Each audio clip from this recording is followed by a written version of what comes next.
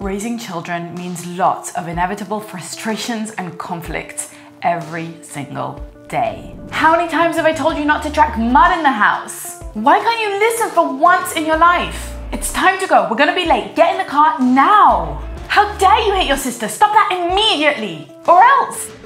I know I sometimes feel like tearing my hair out trying to get my kids to do something or to stop doing something. But there's a simple hack that I think we all need to be aware of. We can say absolutely anything in life, harshly or humorously. In his incredible book, Playful Parenting, Dr. Lawrence Cohen teaches us that we can use the power of playfulness to help our children heal emotionally, cope with stress, connect with us, and even to get their cooperation more easily. Because here's the thing playfulness diffuses power struggles. It helps us to calm ourselves down and our kids down and actually focuses us on the task at hand rather than on all the conflict surrounding it. When we're tempted to get fierce, we can instead get funny and still get the results that we wanted. Dear Mud Monster, we love mud. Outside. Kindly place your muddy shoes here.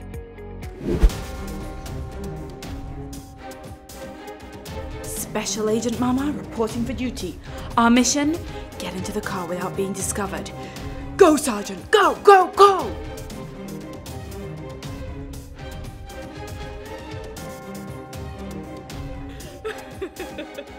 Whoa! Hitting your sister! Hold the phone! You must have forgotten what arms are for.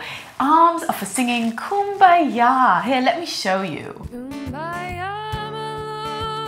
So instead of repeating yourself or yelling or getting louder, ask yourself what's a funny, weird, playful way to express the same request. I know it's not always possible, but when we're more playful, we can actually enjoy parenting more.